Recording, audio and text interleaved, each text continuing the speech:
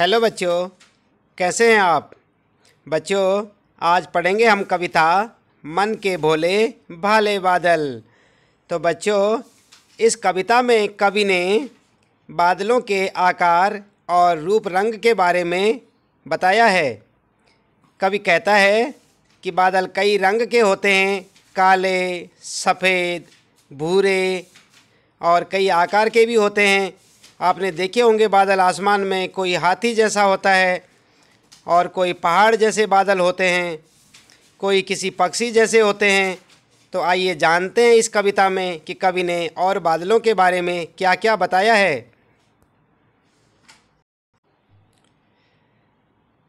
तो बच्चों, आइए कविता पढ़ते हैं पहले यहाँ पर और देखते हैं कि बादलों के बारे में कवि ने क्या क्या कहा है यहाँ पर। आप देख रहे हैं ना, कविता का नाम क्या है? मन के भोले भाले बादल। तो यहाँ पर लिखा है, आप देख सकते हैं इसे।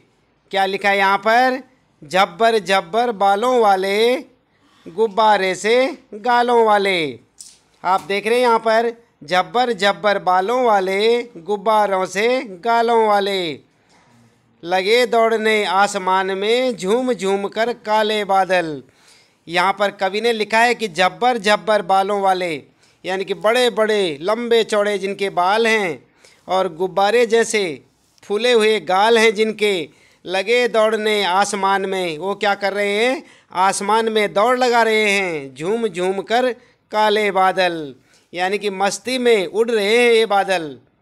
आगे यहाँ पर लिखा है, कुछ जोकर से तोंद फुलाए। जोकर देखा है आपने? जोकर कैसा होता है? बड़ी सी पेट होती है उसकी। तो जोकर जैसी तोंद तोंद का मतलब होता है पेट। पेट को फुलाकर कुछ हाथी जैसे सूंड उठाए और कुछ बादल कैसे हैं? ऐसे लगता है जैसे हाथी ने अपनी सूंड उठा रखी हो। कुछ ऊँटों से कुबड़ वाले ऊँट की पीठ देखी आपने? कैसी होती है ऊँट की पीठ? ऊँची सी होती है। पीठ में ऊँची होती है ऊँट। तो यहाँ पर ऐसे ही है, बादलों की, कुछ बादलों की पीठ कैंची है, ऊँटों जैसी ऊँची, और कुछ परियों से पंख फैलाए, कुछ परियों से पंख लगाए, और कुछ बादलों ने क्या लगा रखा है? जैसे परियों ने पंख लगा रखे हों, परियाँ कैसी होती हैं? बहुत सुंदर होती हैं, और उनके पंख होते हैं। तो इसी प्रकार से कुछ बादल ऐसे लग रहे हैं, जैसे परियाँ आ गई हों, और उन्होंने पंख लगा रखे हों। देख रहे हैं आप यहाँ पर कुछ ऊँटों से कुबड़ वाले कुछ परियों से पंख लगाए। आगे यहाँ पर कहा है, आपस में टकराते रह रहे शेरों से मतवाले बादल। आपस में टकराते रह रहे शेरों से मतवाले बादल। और बादल क्या करते हैं? आपस में टकरा रहे हैं। और कैसे लग रहा है? जैसे शेरों से मतवाले बादल, जैसे कि दो शेर आपस में टकरा गए हों और वे क्या कर रहे हों? दहाड़ रहे हों। आवाज़ करते हैं ना बादल? ऐसे ही जैसे शेर आवाज़ करता है। कुछ तो लगते हैं तूफानी, और कुछ बादल कैसे लगते हैं? बहुत तेज़ गति से आते हैं। तूफ़ान की तरह हवा जब तेज़ चलती है, उसे क्या कहते हैं? तूफ़ान। कुछ रह रह कर करते शैतानी, और कुछ बादल क्या करते हैं? थोड़ा तेज़ उड़ते हैं, फिर धीरे हो जाते हैं, फिर तेज़ उड़ते हैं, फिर धीरे हो जाते हैं, कभी किसी पे टकराते हैं तो इस प्रकार से शैतानी करते हैं। और कुछ अपने थैलों से चुपके झरझर बरसाते पानी। तो कुछ अपने थैलों से, बादलों के पास ऐसे लगता है जैसे कोई थैला हो, उसमें पानी भरा हुआ हो। और फिर क्या करते हैं बादल? झर झर झर बरसाते पानी। और कुछ बादल क्या करते हैं? ऐसे लगता है जैसे अपने थैले से पानी फेंक रहे हों, पानी बरसा रहे हों। नहीं किसी की सुनते कुछ भी, ढोलक, ढोल बजाते बादल। और क्या कहा है यहाँ पर? कि बादल जो है किसी की नहीं सुनते। ऐसे लगता है जैसे ढोल बजा रहे हों, आसमान में ढोल बजा रहे हों बादल। आगे यहाँ पर लिखा है, रह रह कर छत पर आ जाते, फिर चुपके ऊपर उड़ जाते। बादल क्या करते हैं?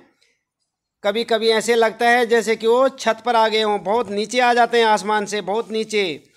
कभी कभी जिद्दी बन करके बाढ़ नदी नालों में लाते और कभी इतने बरस जाते हैं, जिद्दी अपनी जिद पकड़ लेते हैं और फिर बरसते रहते हैं, बरसते रहते हैं और इतना बरसते हैं कि बाढ़ आ जाती है किसमें? नदियों और नालों में, नदी नालों में बाढ़ आ जाती है।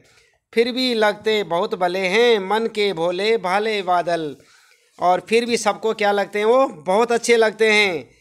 क्योंकि बादल कैसे होते हैं? मन के भोले भाले होते हैं। मन के भोले भाले बादल। तो बच्चों, इस कविता को लिखने वाले लेखक जो हैं, कवि का नाम क्या है? कल्पनाथ सिंह। आपने देखा यहाँ पर किसने लिखी ये कविता? कल्पनाथ सिंह ने। तो बच्चों, ये थी आपकी कविता। आगे यहाँ पर देखते हैं, पाठ के प्रश्न उत्तर किस प्रकार से दे रखे हैं? और पहले देखते हैं कविता का सारांश। और उसके बाद व्याख्या करेंगे कविता की। तो कुल मिलाकर इस कविता में जो कुछ कहा गया, यहाँ पर सारांश में हम उसको आपको बताने वाले हैं। आप ध्यानपूर्वक देखें, मन के भोले भाले बादल कविता का सारांश कि यहाँ पर कविता में क्या क्या कहा गया था। जो कुछ मैंने आपको अभी बताया, वो सब यहाँ पर भी लिखा हुआ है। आप इसे अपनी नोटबुक में भी नोट कर सकते हैं और याद भी रख सकते हैं। तो इस कविता में भिन्न भिन्न प्रकार के बादलों का चित्रण किया गया है। जो कविता आपने अभी पढ़ी ना, उसमें भिन्न भिन्न प्रकार के बादलों का चित्रण किया गया है। कवि कहता है कि इन बादलों के बाल कैसे हैं? जबरदार हैं और गाल कैसे हैं? गुब्बारे जैसे हैं। कुछ बादल जोकर की तरह तोंद फुलाए हैं, कुछ हाथी से सूंड उठाए हैं, कुछ ऊँटों से कुबड़ वाले हैं और कुछ बादलों में परियों से पंख लगे हैं। ये सभी बादल आपस में टकराते रहते हैं और शेरों से मतवाले लगते हैं। कभी आगे कहता है कि कुछ बादल कैसे हैं? तूफानी हैं और शैतान भी हैं।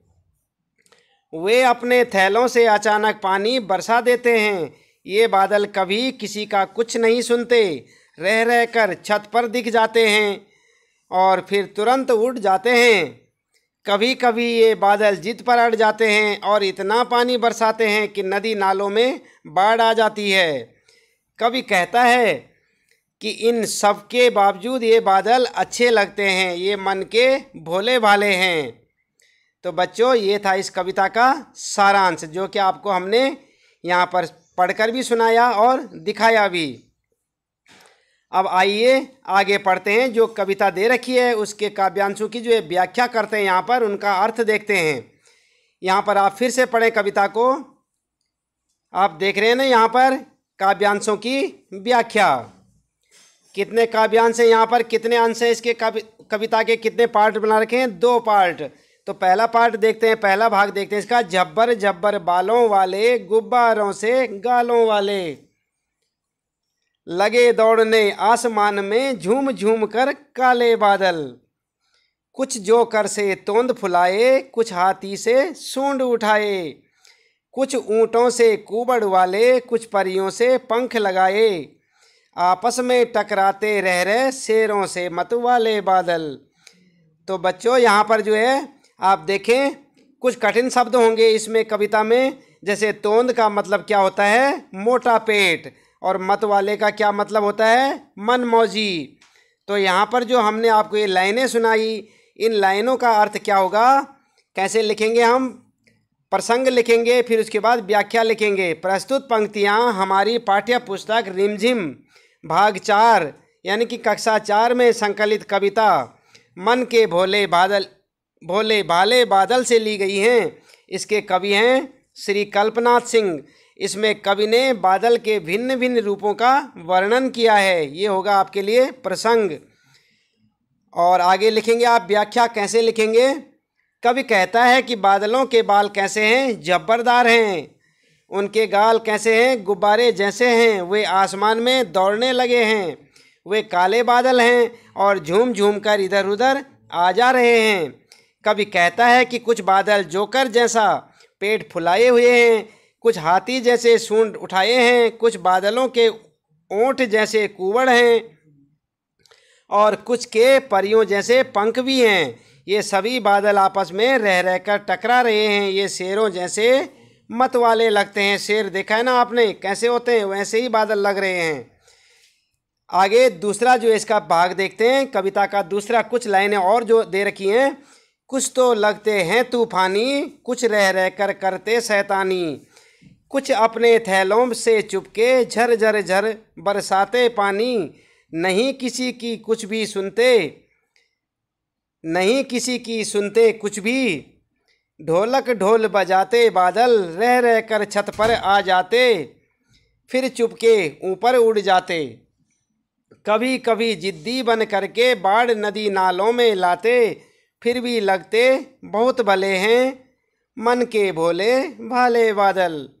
तो बच्चों, इसका जो हम प्रसंग कैसे लिखेंगे और कैसे इसके व्याख्या करेंगे, कैसे इसका अर्थ लिखेंगे, यहाँ पर सब हम आपको बताने वाले हैं। सबसे पहले देखें इन लाइनों में कुछ कठिन शब्द थे, जैसे तूफानी। तूफानी का मतलब तूफ़ान की तरह, बहुत तेज़ हवा की तरह, और जिद्दी का मतलब हठी, जो हट पकड़ लेते हैं।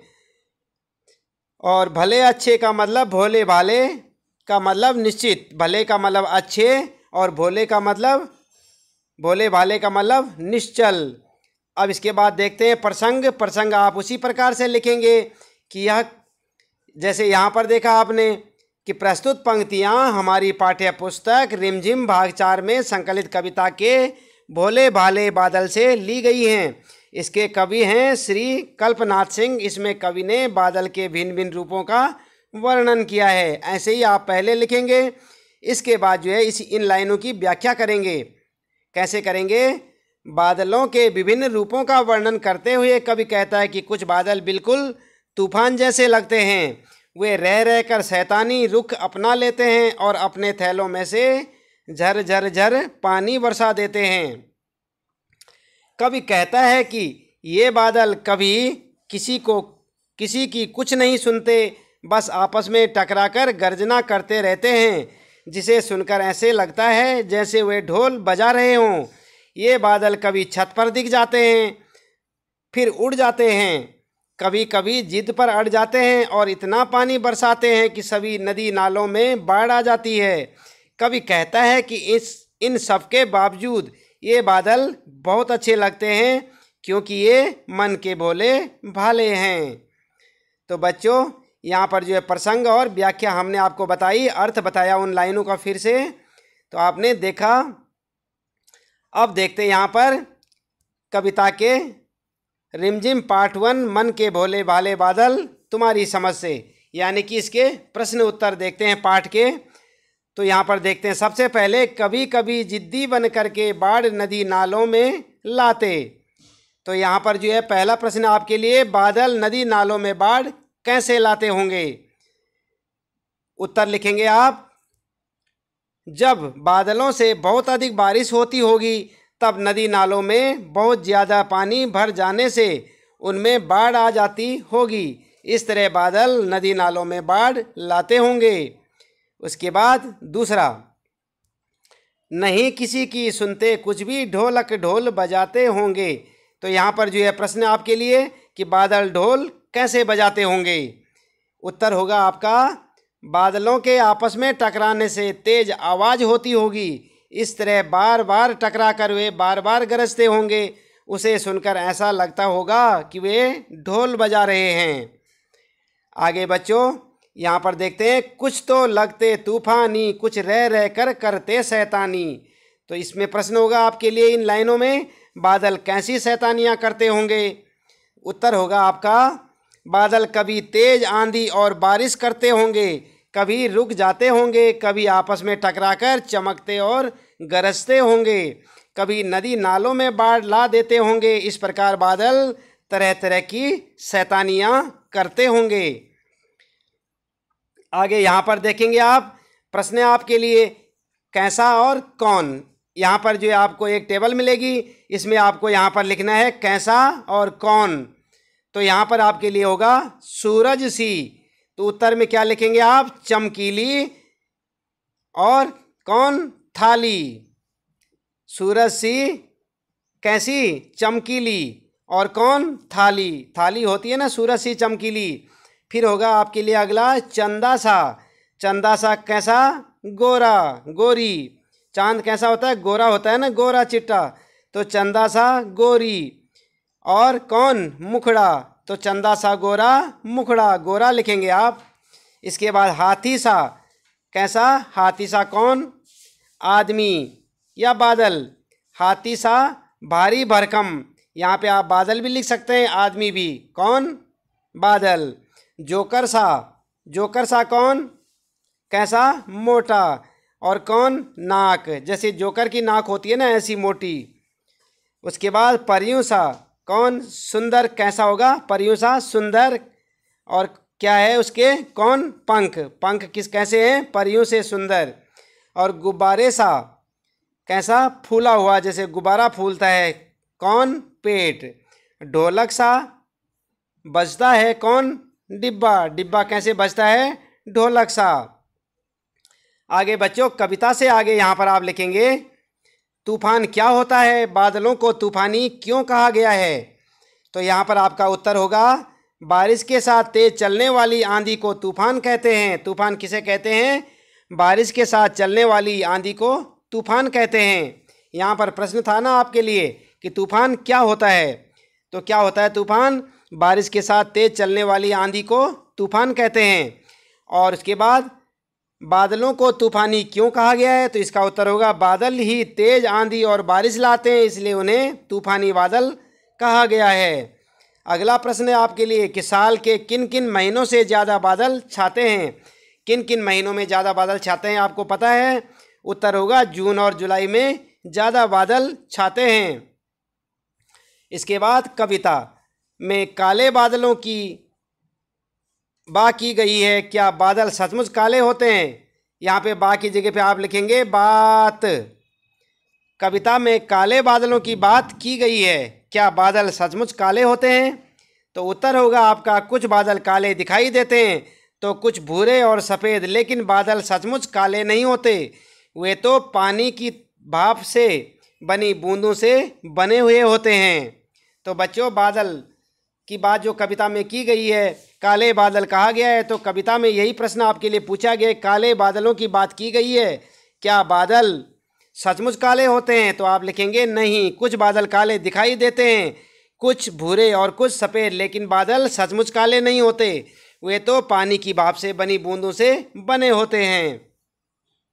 आगे आपके लिए प्रश्न है, कक्षा में बातचीत करो और बताओ कि बादल किन किन रंगों के होते हैं? तो आपके लिए उत्तर होगा बादल काले, भूरे, सफ़ेद रंगों के होते हैं। सुबह और शाम को वे लाल रंग के भी दिखाई देते हैं। इसके बाद कैसे कैसे बादल? तो यहाँ पर प्रश्न है आपके लिए। तरह तरह के बादलों के चित्र बनाओ। काले काले ड्रावने बादल, गुब्बारे से गत्तों वाले, गालों वाले बादल। यहाँ पे होगा गालों वाले बादल। और यहाँ पर है हल्के फुलके सुहाने बादल। तो आप इनका चित्र बनाएँगे, आप यहाँ पर से भी देख सकते हैं। जैसे उत्तर में आपको यहाँ पर दिख रहा है, काले काले ड्रावने बादल, गुब्बारे से गालों वाले बादल और हल्के फुलके सुहावने बादल। इसके बाद अगला प्रश्न आपके लिए, कविता में बादलों को भोला कहा गया है, इसके अलावा बादलों के लिए और कौन कौन से शब्दों को इस्तेमाल किया गया है? आपने देखा था ना भोले भाले बादल। तो बादलों को भोला कहा गया है कविता में। तो आप और बताएँ कि और कविता में बादलों को और कौन कौन से शब्दों के लिए, शब्दों से इस्तेमाल किया गया है कि बादलों को और क्या क्या कहा गया है। तो यहाँ पर आप बनाएँगे। पहला होगा आपके लिए, जैसे कि आप यहाँ पर देख रहे हैं, ये मैं लिखा है यहाँ पर। तो यहाँ पर क्या लिखेंगे आप? मैप की जगह पे मत वाले बादल और जी पे जिद्दी बादल, सै पे सैतानी बादल और तू से तूफानी बादल। यहाँ पर आप देख सकते हैं, मतवाली जिद्दी मत वाले जिद्दी शैतानी और तूफानी बादल, इस प्रकार से आप इनको भरेंगे फिलअप करेंगे इन्हें। इसके बाद बारिश की आवाज़ें कैसी कैसी होती हैं आपने सुनी होंगी और कविता में देखी। कुछ अपने थैलों से चुपके झर झर झर बरसाते पानी तो कैसी आवाज़ होती है बादल की? झर झर। झर तो इसी प्रकार से पानी के बरसने की आवाज़ झर झर झर, पानी बरसने की कुछ और आवाज़ें लिखो, आपने सुनी होंगी। कैसी होती हैं? टप टप टप, टिप टिप टिप, रिम, झिम रिम, झिम, और घर घर, चट चट, चप, छप छप, और छम छम, छर छर छर। ये सब क्या होती हैं? बादल से बरसने की, पानी बरसने की आवाज़ें होती हैं। अब उसके बाद लास्ट प्रश्न आपके लिए यहाँ पर। कैसे कैसे पेड़? बादलों की तरह पेड़ भी अलग अलग आकार के होते हैं। कोई बरगद सा फैला हुआ, कोई नारियल के पेड़ जैसा ऊँचा और सीधा। अपने आसपास अलग अलग तरह के पेड़ देखो, तुम्हें उनमें कौन कौन से आकार दिखाई देते हैं? सब मिलकर पेड़ों पर एक कविता भी तैयार करो। तो यहाँ पर उत्तर आप देखें, कोई पेड़ पीपल सा विशाल है, कोई नींबू के पेड़ सा छोटा है। कोई पेड़ बाँस जैसा लंबा और पतला है, कोई पेड़ बरगद सा मोटा है, कोई पेड़ नीम सा घना है, कोई पेड़ बबूल सा टेढ़ा मेढ़ा है। और बच्चों, आगे यहाँ पर आप कविता स्वयं लिखेंगे। किस प्रकार से आपने पेड़ों के बारे में एक कविता लिखनी है, इसको आप स्वयं लिखेंगे। तो बच्चों, यहाँ पर आपने देखा मन के भोले भाले बादल का। मैंने आपको कविता भी सुनाई। और उसके सारांश भी बताया, कविता का भावार्थ भी बताया और प्रश्नों के उत्तर, कठिन शब्द, ये सब यहाँ पर मैंने आपको बताए। तो आप इसी प्रकार से वीडियो को अगले पाठ में फिर से देखेंगे। अगला पाठ दूसरी वीडियो में। आज के लिए, आपके लिए इतना ही, काफ़ी है। आपका दिन शुभ हो।